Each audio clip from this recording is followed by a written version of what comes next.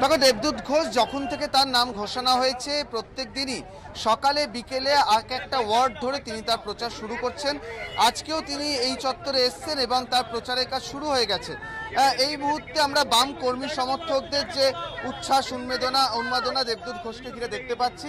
তার মাঝেই তার সঙ্গে একটু কথা বলে দেবো দেবদূত দা আজকে যখন প্রচারে বেরোচ্ছেন বা এখন তো রোজই আপনি প্রচারে বেরোচ্ছেন, কোন মুখ্য, কোন বিষয়গুলোকে নিয়ে মানুষের কাছে যাচ্ছে দেখুন, আজকে একটা খুবই উল্লেখযোগ্য দিন। যে সময় বিজেপি গভর্নমেন্টের বাজপেয়ী গভর্নমেন্টের বিশেষ করে যিনি অর্থমন্ত্রী ছিলেন, পরে ডিফেন্স মিনিস্টারও ছিলেন যশবন্ত সিংহ তৃণমূলে জয়েন করেছেন। তো বিজেপির খুবই বরিষ্ঠ নেতা তৃণমূলে জয়েন করেছেন আজকে দুপুরবেলা। আবার একই সাথে আমরা দেখছি যে তৃণমূলের বরিষ্ঠ নেতা শুভেন্দু অধিকারী জয়েন করছেন এবং দুজনের কথার সুর এক। সেটা হচ্ছে, যে দলে ছিলাম সে দলে কাজ করে উঠতে পারছি না। সেখানে আমরা যে মোর্চা তৈরি করেছি, আমি বামেদের সাথে বহু বছর ধরে আছি, আপনারা জানেন সেটা। সেখানে আমাদের কর্মসূচি খুব সহজ, সুন্দর।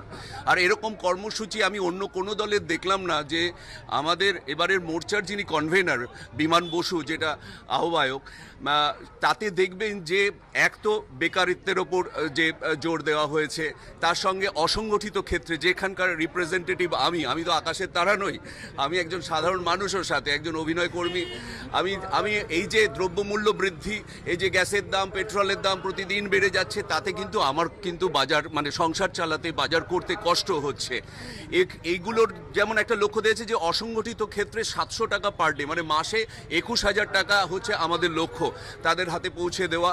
এছাড়া হচ্ছে ভারী শিল্প পশ্চিমবাংলায় অনেক দিন আসেনি, যেটা আপনারা জানেন যে সিঙ্গুরে আমরা করার চেষ্টা করেছিলাম শালবনিতে করার চেষ্টা করেছিলাম, কিন্তু সেটা নানা কারণে আমি কাউকে এর জন্য দায়ী করতে চাই না কিন্তু আগামী দিনে যখন সরকার চালানো হবে এই দশ বছর সরকার চলেছে খালি দেখবেন যে বামফ্রন্টের ওপর দোষ দোষারোপ করে। আমরা সরকার চালাবো কোনো দোষারোপ নয় আমাদের চোখে কথা আছে স্বপ্ন দেবদূত ঘোষ জ্ঞান মনস্তং ব্রহ্ম সত্য অন্তহীন সত্যের খোঁজও তাই সত্য সন্ধানে তাই আমরা অক্লান্ত অকুত ভয় এবিপি আনন্দ নতুন ভাবনার প্রতীক যা মনে মুক্ত তথ্যে যুক্ত এবং যাবতীয় সীমানার বাঁধন থেকে মুক্ত।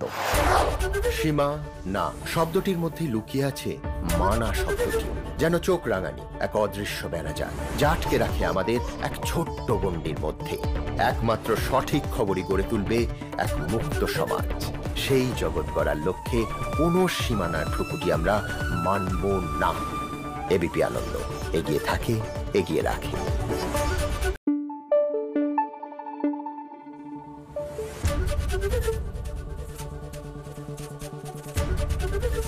এবিপি আনন্দ এগিয়ে থাকে এগিয়ে রাখে।